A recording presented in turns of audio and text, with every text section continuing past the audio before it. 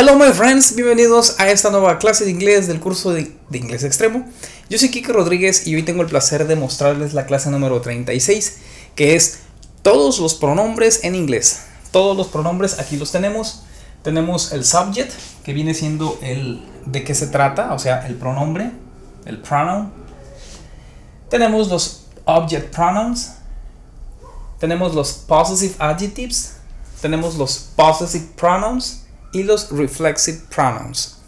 Bien, esta clase es muy importante porque aquí te voy a dar una compilación de todos los pronombres en inglés por lo siguiente. Estos se olvidan. A veces, cuando estás aprendiendo inglés, eso es lo primero que, que nos enseñan. I, you, he, she, it, we, you, they. Esos son los pronombres personales.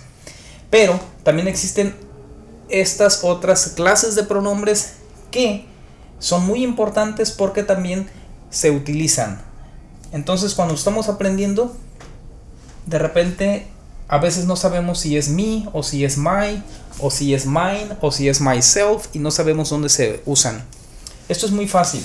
Les voy a mostrar este cuadro y vamos a ver eh, el significado y vamos a ver algunos ejemplos de cómo los utilices. Este cuadro es muy importante que le tomes alguna captura de pantalla, que le tomes algún, este, alguna foto si lo estás viendo en la computadora.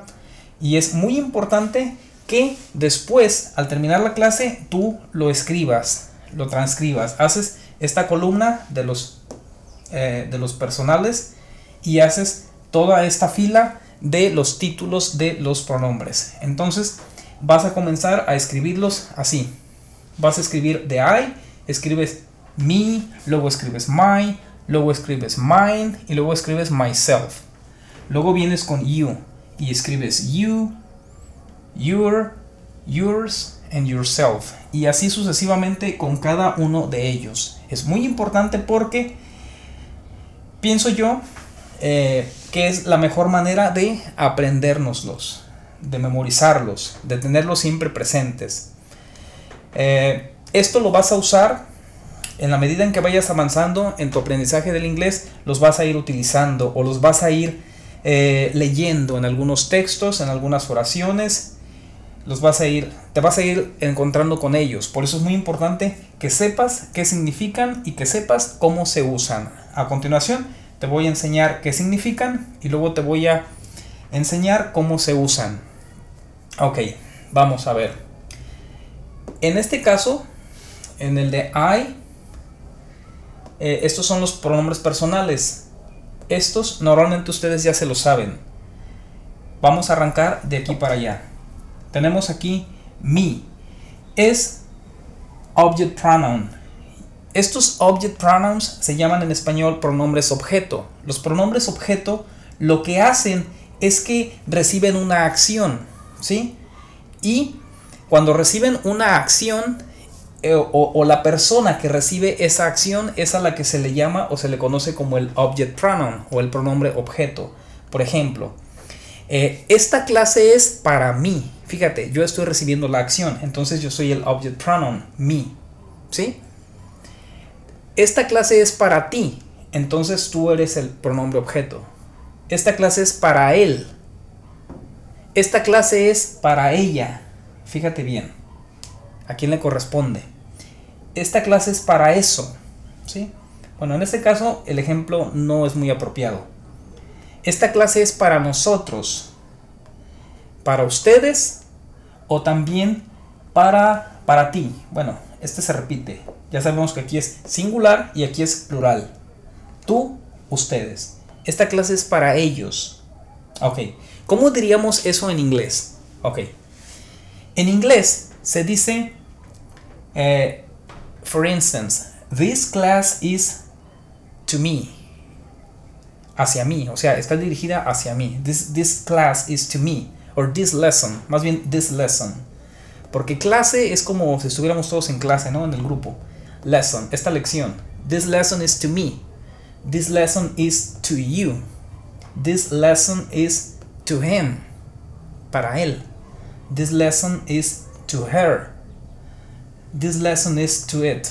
No, no aplica aquí. This lesson is to us. para nosotros, to us.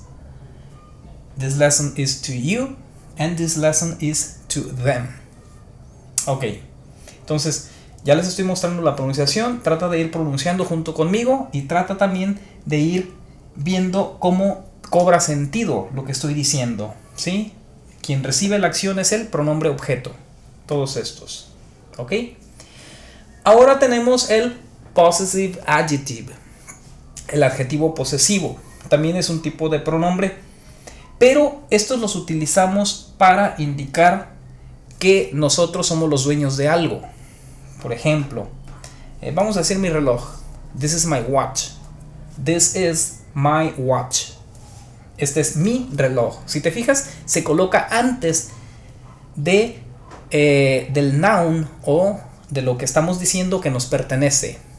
También podríamos decir, eh, this is, esta es mi, eh, mi video. Este es mi video. This is my video. This is my video. This is your video. This is his video. ¿El video de quién? De él. This is his video. This is her video.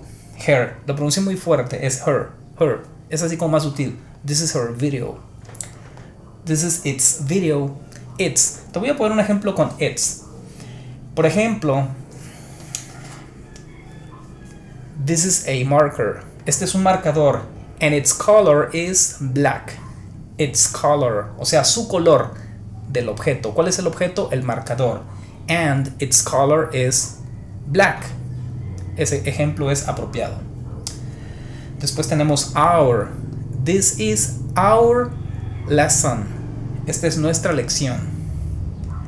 This is your your este es tu, te iba a decir your teacher, pero no. This is uh, this is your your favorite English course. este es tu inglés, tu curso de inglés favorito. This is your favorite English course. And this is their ¿qué será? Algo de ellos. And this is their marker. Así de, así de fácil. Ahí lo dejamos. This is their marker. Este es su marcador. ¿De quién? De ellos. O sea, their significa de ellos. Hasta aquí vamos bien. Nos quedan dos columnas de explicar y también son muy fáciles. Possessive pronouns. Los pronombres posesivos son aquellos eh, que indican, así como aquí, por ejemplo, my, y luego se, colocaba lo, siguiente, o sea, el, noun. Por ejemplo, my marker, o sea, mi y luego marcador. Acá funciona exactamente lo contrario. Por ejemplo, this marker is mine. Aquí se pronunciaría como mío. ¿Sí? This marker is mine. This marker is yours. Este marcador es tuyo. ¿Sí? O esta lección de inglés es tuya. This English lesson is yours. This English lesson is his. Es de él. ¿Sí? ¿Qué otro ejemplo se nos ocurre? Eh, por ejemplo, este mundo. This world is hers. De ella este mundo es de ella.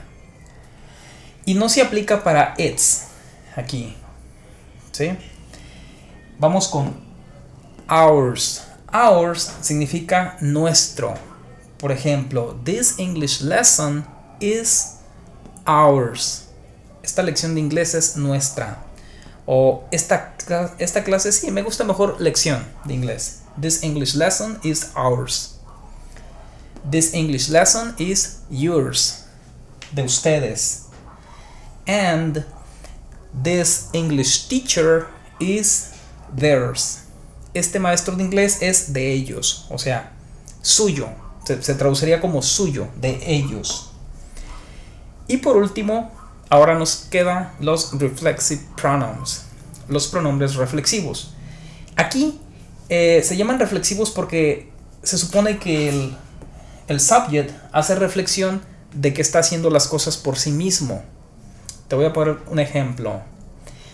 I am making this video myself. Estoy haciendo este video eh, yo mismo o by myself. o por mí mismo. ¿Sí? O sea, sin ayuda de nadie. Myself. Yo mismo. Ok. You you are watching this video yourself. O sea que nadie te está incitando a que lo, a que lo mires. Yourself.